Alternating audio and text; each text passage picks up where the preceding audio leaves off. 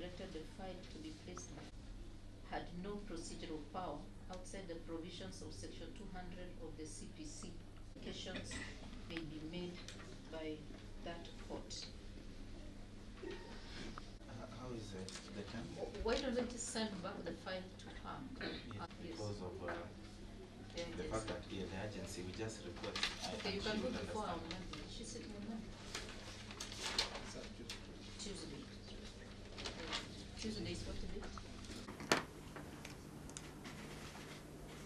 Moses Dola Otieno. Moses Dola Otieno is charged with the offense of murder contrary to section 202. According to prosecution witnesses, Moses Dola and Sarah Kabiru lived together as husband and wife. And Sarah's brother, PW2, that the couple started experiencing problems when Dola lost his job with the local with a local media house.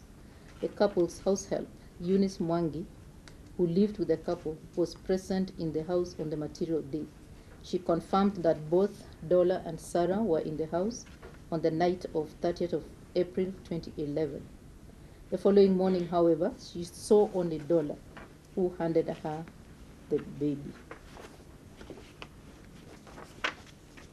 According to Eunice, Dola left the house uh, on the 1st of May at around 8 a.m.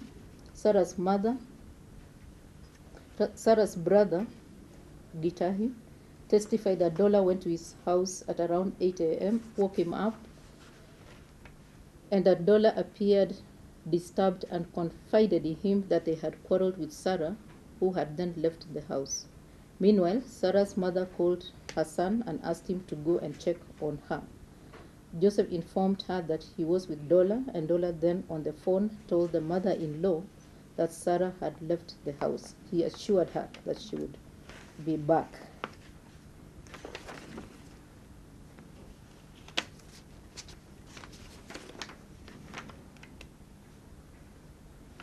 Later in the evening, Sarah's body was found in the bedroom. Her brother, along with police officers who saw saw the body, which was neatly tucked in bed. Sarah's mother and father testified that Dola called them that evening to inform them that Sarah was dead. As ev- events unfolded, Dola turned himself to the police at the Naivasha police station. Two police officers testified to have uh, arrested him and handed him back to Buruburu police. In defense, the accused uh, made a lengthy sworn statement in which he informed the court that the pressures associated with joblessness had strained their relationship. He said that the wife was quarrelsome and that the parents had intervened at some point.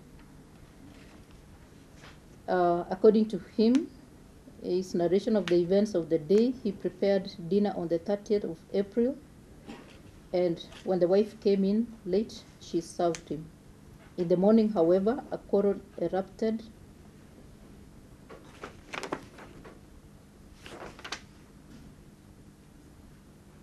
Which quarrel was occasioned by Sarah's complaint that the music that Dola had switched on was loud and had disturbed her sleep.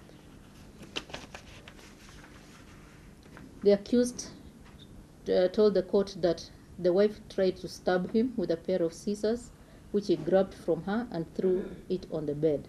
That she picked the scissors and held, that he picked the scissors and he held her round, and both of them fell on the bed, and she hit her head on the bed canopy. That he picked the child from the baby cot and took him to the maid.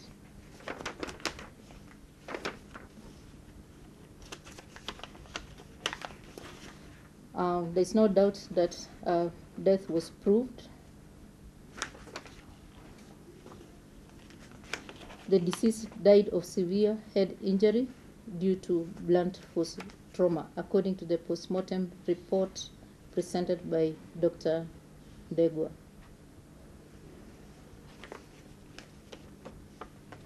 I accepted the report. The findings were not only consistent with the oral evidence of the witnesses who viewed the body, but was also not challenged by the defense. It was evident, therefore, to the court that the, that the deceased suffered an unlawful death. As to whether the accused uh, caused the death of the deceased,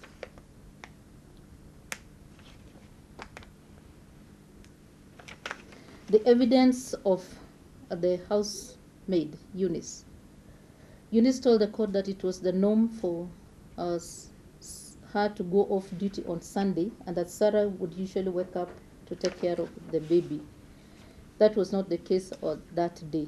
It was Dola who woke up and handed her the baby.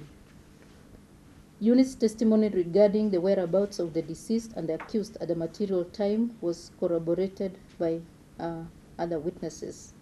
Gitahi testified that Dola went to see him early in the morning and asked him for a drink.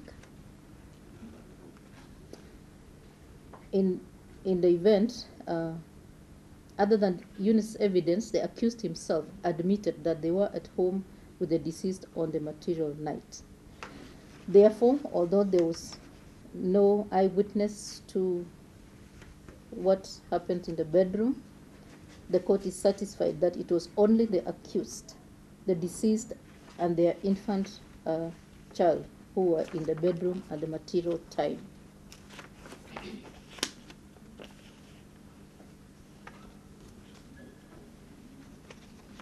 The evidence and the conduct of the accused on the conduct of the accused was given by number 230637, Superintendent of Police Paul uh, uh, Kipkorir, then the OCPD at Naivasha. He described that uh, the accused who walked into his office told him that he was being looked for by Buruburu police in connection with the death of Sarah Wambui.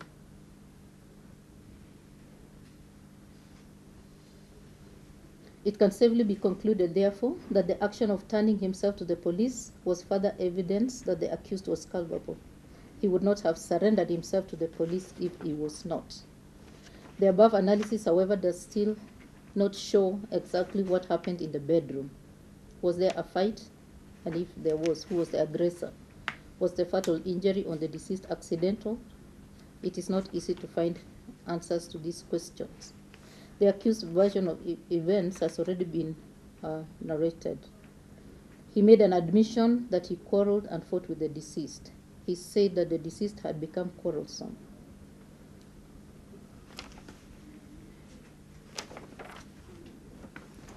The accused described the confrontation in these words that she wanted to stab me with a pair of scissors. In a split second, I stretched my hand and held the scissors.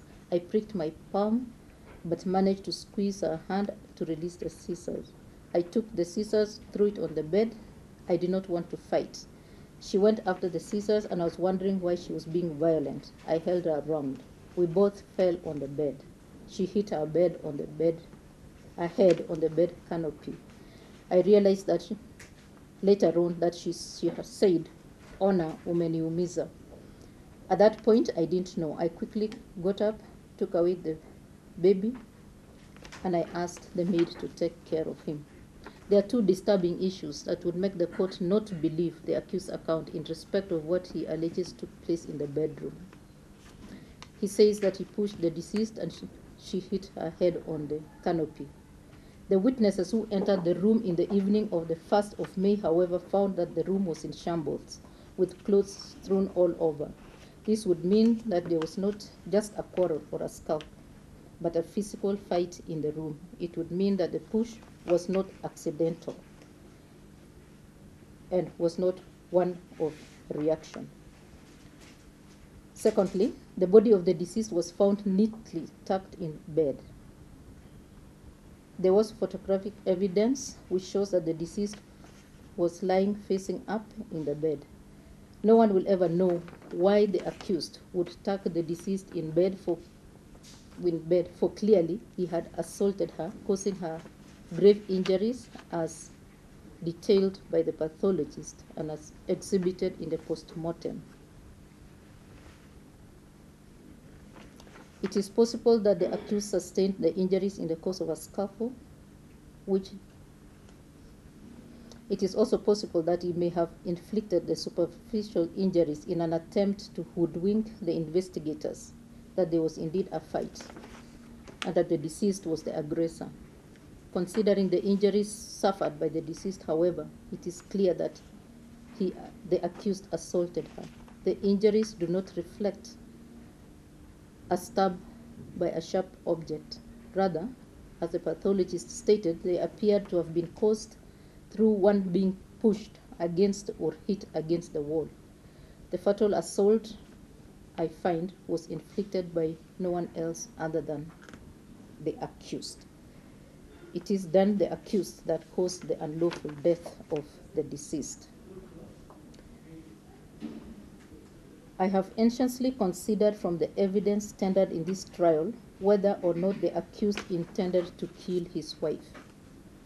The evidence shows a relationship that was budding initially, but which was progressively deteriorating when the couple faced pressures of joblessness.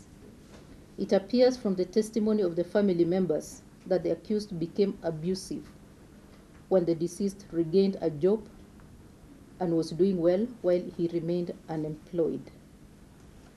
Clearly, the events of the material time shows a couple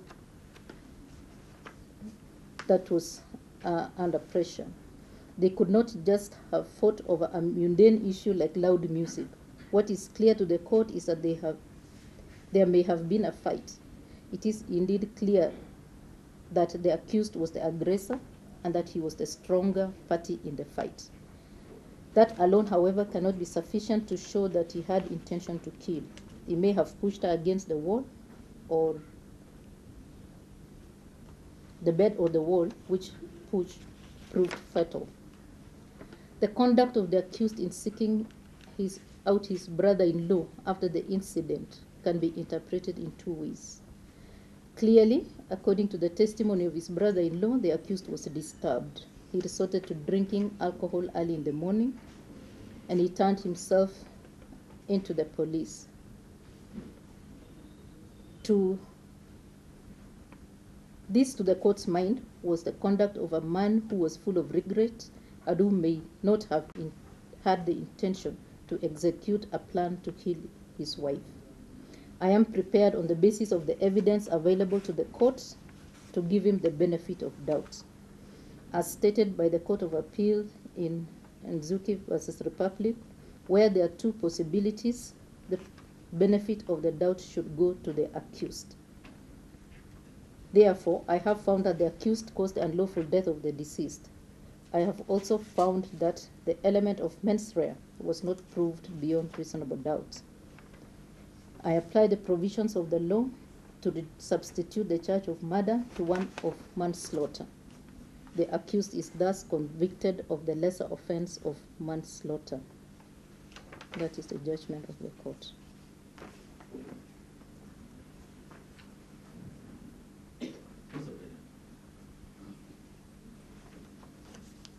The accused, having been out on bond, must now lose that liberty. His bond terms are cancelled. Already I'm ready. I'm ready to mitigate. Pardon? I'm ready to mitigate. You are ready to mitigate? Okay.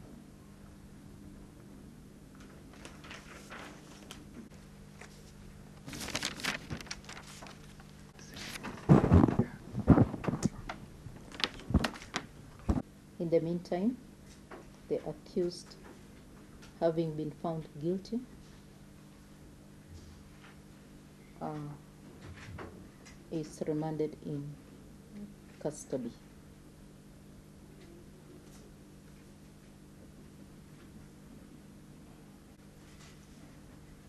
So this report to be filed within, but the families live far apart. Yes, and that's why I was saying because Okay.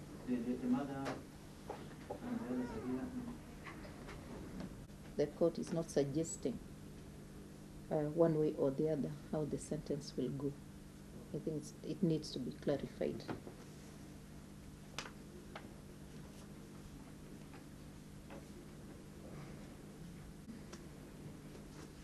To confirm that report and for the file to be transmitted. After twenty-one days, that gives us which date?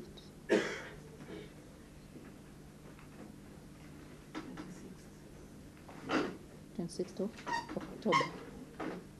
Mention on the twenty-sixth of October.